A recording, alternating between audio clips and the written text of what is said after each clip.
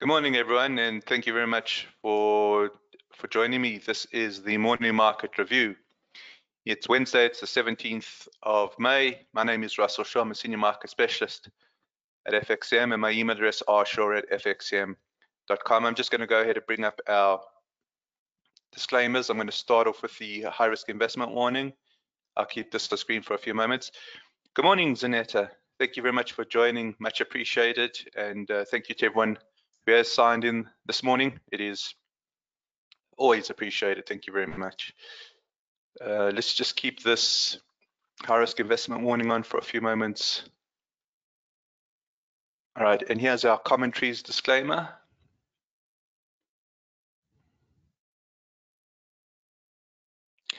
And um,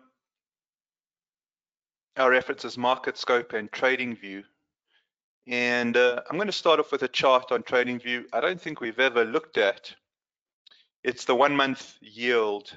Uh, it's very short term. We, we, we, hardly ever look at this, but I just want to make a point here. Uh, you can see that the yield's jumping. We're, we're over 5.7% here. Um, this is a, a, direct result of the uh, the debt ceiling. Um, the X date, the X date, when the Treasury uh, has estimated they may start running out of money to pay their obligations. 1st June, it's not written in stone. Uh, there's going to be um, leeway there, but uh, that's what uh, Treasury Secretary Janet Yellen has come out with in terms of the X date, and it's made these short-term bond uh, bonds almost untouchable. Nobody, nobody wants to touch them. So the prices are falling and the yields are jumping. Um, there is stress in the fixed income market, which we're not seeing really on the other markets just yet. I think we started seeing it yesterday um, because effectively there was a meeting yesterday. Uh, um, the meeting again came out with no deal, but uh, Joe Biden and congressional leaders said they were optimistic about a bipartisan deal. And um, they the two sides have uh, still um, not really made anything um, any headroads. Um, they, they remain apart. Uh, the meeting did yield agreement on a new system for staff level negotiations, whatever that may mean. But the point is, uh, there is stress. Uh, let's go through to the US two year yield. Let's just take a look there. Okay, you, you, will see that the, the stress is not is not as apparent as it is on that short term. That short term showing a lot of stress. What I think that means is as we head towards that X date, there's going to be stress on the risk markets. Um, the risk markets have been perhaps a little complacent with regards to the uh, debt ceiling. It's almost as if they're saying, look, we've seen this uh, play out before. We're not too concerned. But uh, as long as these guys don't uh, don't make a deal, uh, the pressure is going to build. So um, I just want to go back to that uh, one month. So you just put in US01MY. That's the one month. Yeah, you can see the, the stress here. You see the stresses here? This is the weekly. It's building. Okay. Um, what does that mean for us as traders? I want to go back to what we've been talking about for uh, this week. It's really been um, built around the US dollar. Um, the reason that we um, are emphasizing the dollar here is because the dollar is a safe haven. We, we, we tend to start the analysis with the US dollar regardless. But when it um, comes to a um, a place where people want to uh, look for safety, uh, the US dollar certainly is right up there. And um, what's interesting to me is that uh, the support has uh, kicked in around that 17,800, uh, a big button, the 12,800 level here. And um, if we go through to the the daily time frame, we're in zone one. Okay, we're in we're in zone one, and um, we've been looking at this ever since ever since this so th this this coincides with that one month stress okay uh, the one month stress pushing up uh, on the so the dollars pushing up as people start looking for for safety. Then we saw some red. It's always good to see some red in zone one because that's the dip in the upswing. That's the dip in the upswing. So we noted, guys, here's the dip in the upswing. Keep an eye on the US dollar, okay? And then um, we um, yesterday was actually a bit tricky. Uh, I can't. Um, so we had a signal one, we had signal two. Uh, it whipsawed pretty early in the day, and then that's when it caught. And then what we said was, well, the stochastic's got to make its way through to the upper quintile and hold. If it gets through to the upper quintile and hold, we're going to get a swing. Okay, we got it. Okay, we got it. So uh, the US dollar definitely uh, a place to keep watching. As long as there's not going to be a deal here, there's going to be market stress. And I think that um, the US dollar is something that's going to respond. Of course, if the US dollar responds, it means the dollar pairs are going to respond. So we've also been taking a look at the euro US dollar. Euro US dollar wasn't responding quite as uh, much as I thought it would. Nevertheless, it did it did catch. We didn't quite get that swing. We didn't get that. It didn't sit in that lower quintile, right? But nevertheless, we did get some movement there. Okay, um, and it was pushing in zone three. So those were the dollar and the euro were really the um, standouts when we looked at it yesterday. The rest were sitting in zone two. They were starting to move on the hourly, but their their daily hadn't uh, really shifted from zone two to zone one. So some of the others that we had looked at was uh, cable. So let's just bring up the cable pairing. Uh, cable actually moved uh, a heck of a lot. That was also because of the um, unemployment, uh, I beg your pardon, the claimant data that came out of the UK. So came the employment data came out uh, a little weaker than expected. Uh, that added some pressure to cable. Uh, there was more of a swing here than on the euro we did we did point this out. Um, it did take it did take some time to work through the system. So we had a whipsaw here. These whipsaws are annoying as can be. But then what happened was the swing caught. Okay, the swing caught. Now, uh, just something that I need to point out here because it, it bears repeating. Uh, we're going to get whipsawed a lot. We've got to we've got to accept it. The idea here is that it's the swings that are going to make up for the whipsaws. It's the swings that are going to make up for the whipsaws. Um, we have looked at that previously um, in terms of a bell curve. I just want to show that to you guys very quickly, and then we'll move on to gold. Let's just uh, take a look at the bell curve, just so uh, we understand the uh, statistics behind it. So the idea here is uh, your trades are going to be uh, put in a distribution um, for this conversation, we'll call it a normal distribution.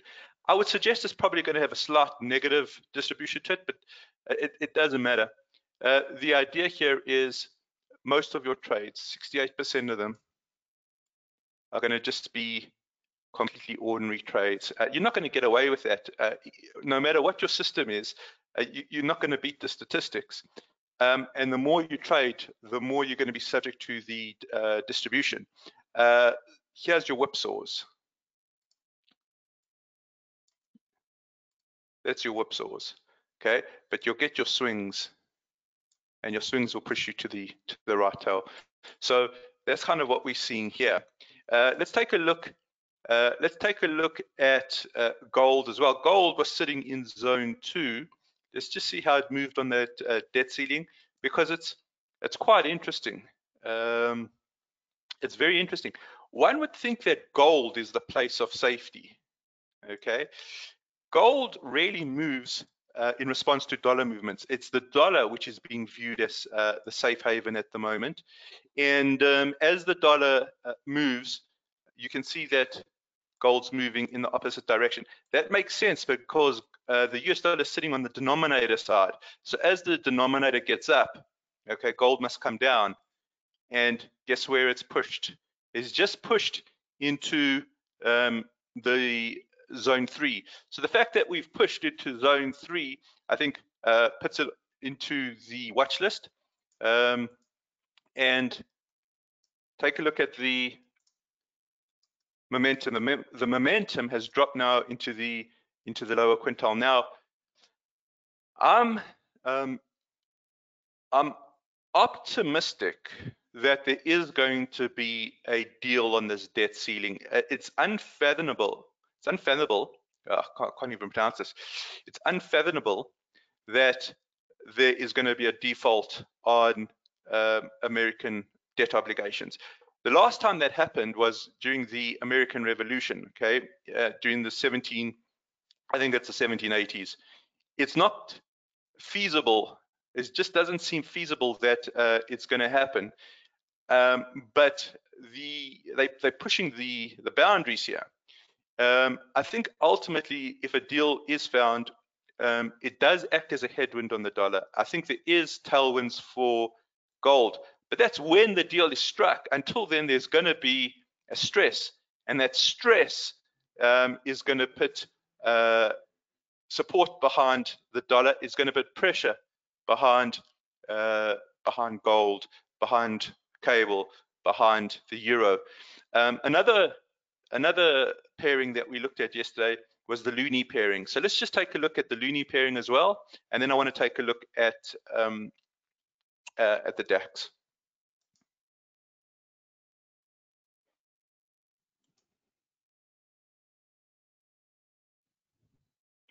Okay, so uh, again, loonie pairing here, loonie pairing here, it's in zone two.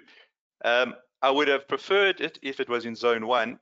There is a, um, a long-tailed candle here. So uh, bears pushed down until they lost control at the uh, the low for the day, and then uh, it's been pushed back up. So this is quite a, a bullish candle. Go through to the hourly here, and you can see we've got the cross. Okay, there's the cross. There's the cross. Where's our stochastic? It's sitting sitting in the uh, upper quintile. As long as it holds that upper quintile, there's going to be uh, a momentum behind it. Okay, so the idea here is uh, Loonie uh, PEPS one to add to the watch list as well. All right, uh, last chart, and then we're going to switch to the crypto minute. Uh, let's just take a look at the well, let's take a look at two. Let's take a look at uh, NASDAQ. We'll take a, take a look at DAX. Let's look at DAX first.